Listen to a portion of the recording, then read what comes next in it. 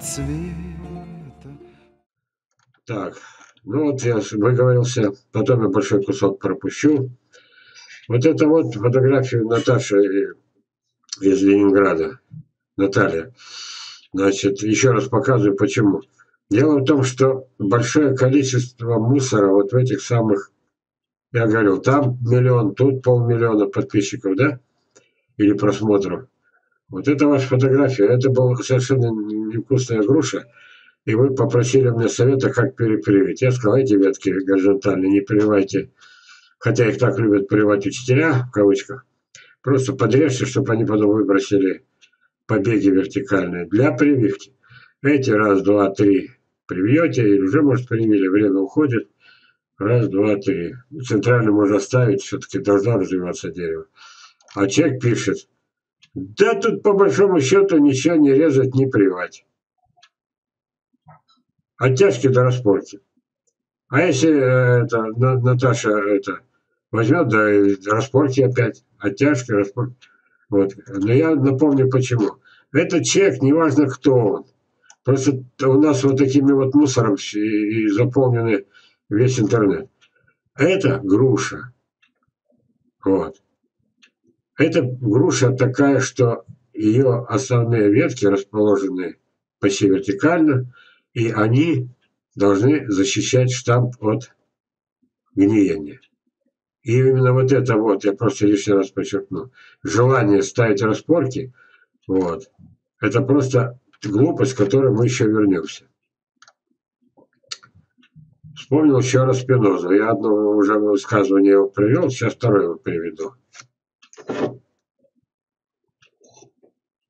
Итак, мир легко поддается познанию. Ну, судя по тому, что я вот это все рассказывал, то действительно ничего сложного-то и нет вот в этих самых. Вот. Посмотрел, почка замерзла, а, это, а какая-то дала ветку и плодоносит, как ничем не. Одна из сотни. Да этой ветке молиться надо. А потом, когда он не имел права, э, этот, Ярославский, меня поддержать, ну не имел права. Генетика же этого не позволяет. Вот его слова. Более подготовленная, лучше защищена. Вот. Генетически обусловленная потенциальная устойчивость. Какие красивые слова. И все-таки одно слово в мою пользу. Степень дифференциации. Помните, я расшифровал. Специально, может быть, чтобы поддержать меня хотя бы так подпольно. И вот получается следующее.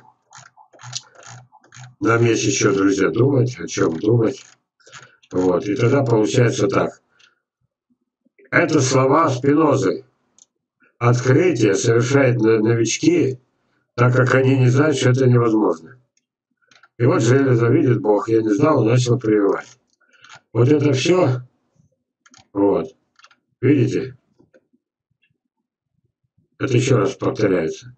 А знаете, почему еще раз повторял? Я готовил другую тему. Надо доказывать, что я не люблю. Последняя ваша фраза, Ольга, вегетативная гибридизация уже наука. Не нашел я, нету такой фразы. Ну, колитесь. От себя прибавили? А? Ну, мысль, что это уже вегетативная гибридизация уже наука, конечно, не вы придумали. Но здесь зачем вы вставили это? Вы понимаете, что десятки лет потеряны из-за этого? Мне два крупнейших ученых э, в это, полемики со мной.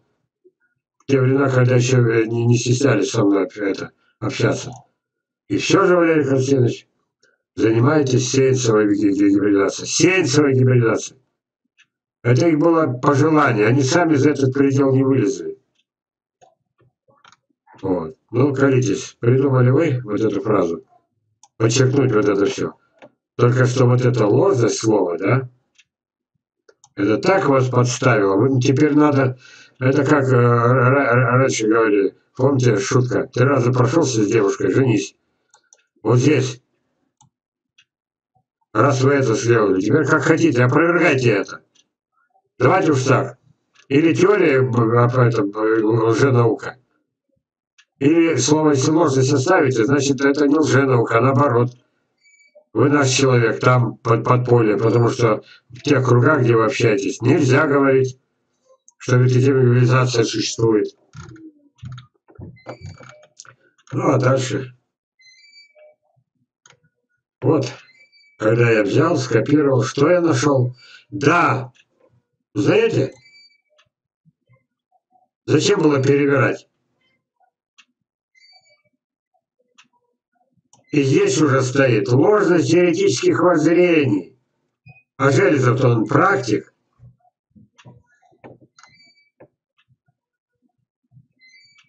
А все, что... Вы понимаете, что такое химера? Вот действительно, это, ведь все бывало. Показывали как-то рыба, у нее э, пасть, то, то человеческое вместе с зубами человеческими. Как это могло случиться? А хрен узнать. Вот. Чего только не было. Возьмите гену, и так, и так эту гену. Ну, точно гибрид, который еще такой устойчивый оказался. Он совершенно неправильно, уродливое создание, оно не собирается помирать. Явная химера. А уж в растительном мире, там, кто с кем это самое, кто кого переопылил, что такое не бывает. Да, химеры.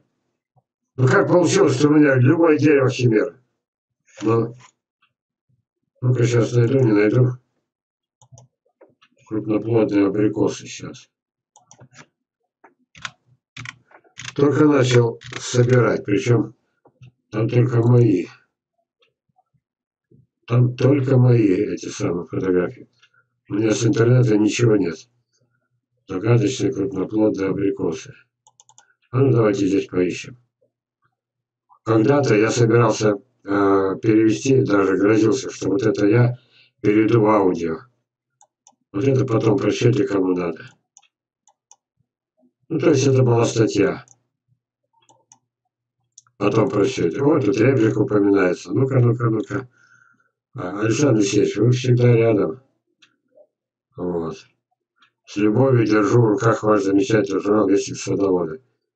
До сих пор поражаюсь вашей смелости. Печатать железо в виде постулатов, претендующих на непогрешимость, на фоне вбитых голову миллионов садовых догм, уничтожающих садоводство на корню настоящий гражданский подвиг. Это я про вас.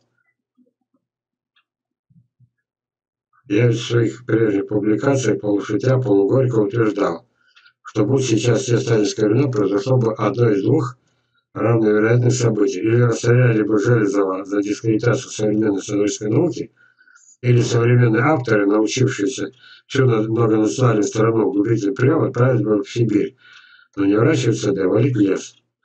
Вот. Ну и так далее. Это все потом прочтете. Вот. Переписка, Тимирязев. Вот это страшная вещь. Я искал ее. Вот. И когда набрал Тимирязев, там работы столько, мне уже не хватает это, крепости глаз. Смотрите, вот спасибо, сейчас нашел. Вот это Тимирязев со своими цифрами сыграл страшную роль, как это. Вот это вот. И самое, если на лист не упадет луч солнца, а почка останется бесплодной. Ой, что началось потом? Боже мой, что началось? Миллионы, миллиарды деревьев уничтоженные, больные, несчастные, на которые по 40 этих опрыскиваний за лето. Только из-за того, что не могут понять, что дерево само решает, как ему расти. Вот. Придумайте какую-то идеальную форму вместо дерева. Вот. А это я сейчас случайно, это я статью делал. Ну и много лет прошло, ну и что? Что изменилось? Все тоже.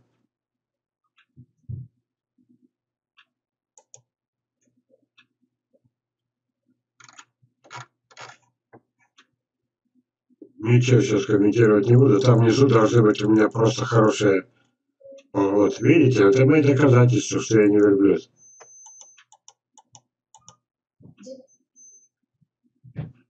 Все, Тимош.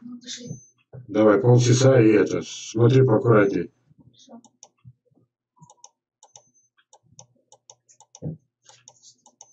Это статья. Хотите, потом посмотрите. Вот. Эх, это я не здесь, не здесь, э, не здесь, не здесь. Где-то в другом месте. Все, не буду отвлекаться. В другом месте я собрал несколько десятков этих самых химер, химер, которые за десятки лет так и не думали умереть, хотя химеры долго не живут. Так, поехали обратно. Поехали обратно. Вот. А, это мы смотрели. Сейчас мы вернемся там, где были. Опять сюда. Опять сюда никак не могу. Никак не могу, никак не могу. Документы. Так. Не могу я покороче. Итак, вот мы были здесь. Итак, приговорили нас, меня и Латенкова, сказав, что мы шаманы. Это было сказано с трибуны съезда садоводов России, где каждый первый был доктор наук, а каждый второй был кандидат. Вот.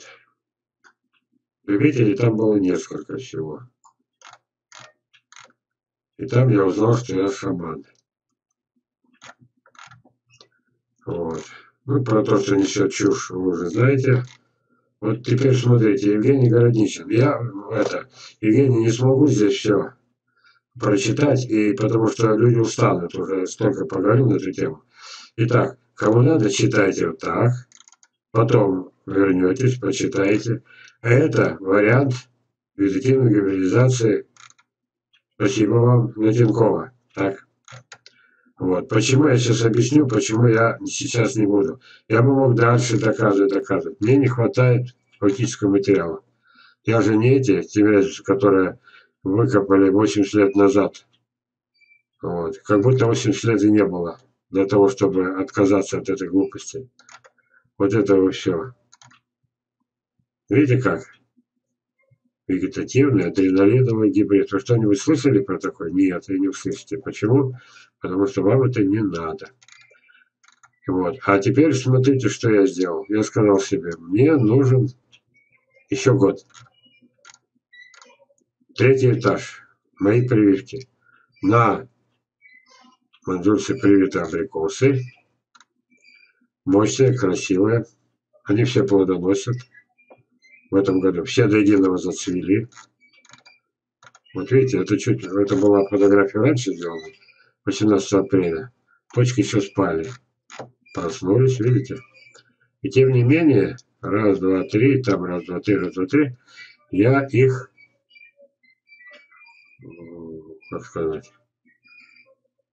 в общем, это, ну, заставили вы меня, гражданин Городичин, вы и вам подобные. Ну и я теперь должен как-то реагировать на это все. А как я среагировал? Я же много чего придумал. Есть огромная разница. Или корневую шейку привить, или как большинство, на 30 сантиметров. Вот. Кто сказал, что на 30? Почему не 28? Почему не на 34? Если привать, то корневую шейку. Или чуть-чуть выше. Сколько, знаете, я уже сколько приводил доводов за это, за это. Помните, как это в мультфильме? Для чего хобот нужен? И вот оказывается, для этого, для этого, для этого. Вот. А так не было бы слоненка хобота, кем бы он был бы? Куском мяса для еды. Так и здесь так же. Вот принципиальное решение. Корневая шейка. А что я вам на прошлом э, занятии-то, если, если мои лекции можно занятием назвать, это просто я рас, рассказы мои. Что там было написано? Скелетная прививка у Мичурина. И здесь скелетные прививки. А потом что получается? Рамки другие, сжимаются рамки. А здесь двух-трехлетка, посмотрите. Все расшатано. Что будет? Все будет, что угодно будет. Не знаю, что будет. Не знаю, не знаю. Зато я другое знаю. Знаете, что я знаю? Куда они подевались? А, они ниже. Дикарей не будет, вот что я вам скажу. Вот они. Дикарей не будет. А вот теперь смотрите. Вчера я фотографии делал. Сегодня еще больше сделал. Еще, они еще точнее. Вот. Имею я право совету давать? А это правая половина. Имею право совету давать? А вот здесь, видите, справа торчит. Здесь еще один сад абрикосовый. А там за дорогой еще один сад абрикосовый. Этот патриарх в этот раз, разобьюсь это, все будет задокументировано. Хорошо бы комиссия бы приехала. Порядка 40-45 ведер уже давал этот самый. В этом году хочу, чтобы 50 дал. Не, я наглый, а вдруг завтра это убьет этим заморозками. Может быть. Намечать не вредно. Мне нужно доказать, что дерево может дать 50 ведер. Причем съедобных плодов. А, привет, Белось. Охрана, встает охрана. А вот такие я люблю фотографии, да, знаете почему? Я уважаю только тех, когда я ему обрезал вот это, видите? Он взял веточки аккуратненько, собрал и сказал, я еще прибил. Вот это да. Вот это по-нашему. Вот, смотрите. Проснулись меньше десятка косточек персика. Всего их сотня. Для чего я это делаю? Сказал, поливай через день, поливай через день. Я хочу, чтобы вы отслеживали все, сколько взойдет, как взойдут. Вот. Если мыши сидят, будет видно, что мыши съели. Я хочу, чтобы не как у этих самых посреди лета посадили дерево, не обрезали с листьями, какую-то яму э, дурацкую с всем дерьмом замешали. Вот уже явно, что через месяц оно будет мертво. Для чего? Ведь люди будут повторять. А мы будем все это отслеживать. Сколько лет отслеживать?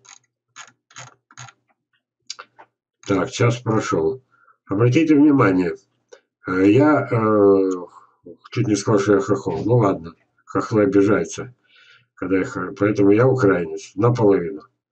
Итак, Сергей, ну, покопались, это самое, значит, и от того есть, и от того, и, ну, естественно, и хох... Ну, украинцы тоже у него в роду есть автоматом, так. Вот это стоит, допустим, полторы тысячи. Прекрасно саженец в руках у нее, посмотрите какой. Может быть тысяча, может полторы. А вот этот 500. Вот этот. Видите? А почему? Я сказал Сергею, не, я тебе вырубать не дам. Лучше я три таких по 500 продам и убедю людей, вот здесь вот отрезано, вот где кромка этого самого. Вот. И, пожалуйста, лучше 3 по 500, он будет садить, посадит ровнее, коли мы выпрямим, все. Вот это вот, моя технология. Ну не могу я когда.